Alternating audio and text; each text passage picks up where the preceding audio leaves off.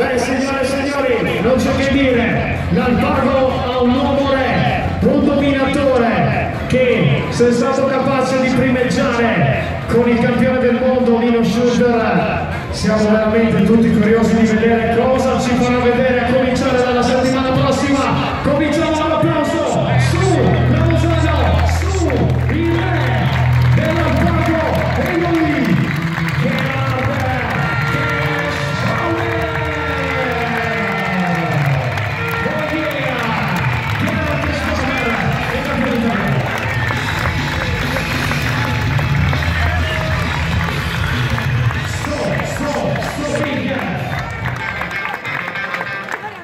Signori,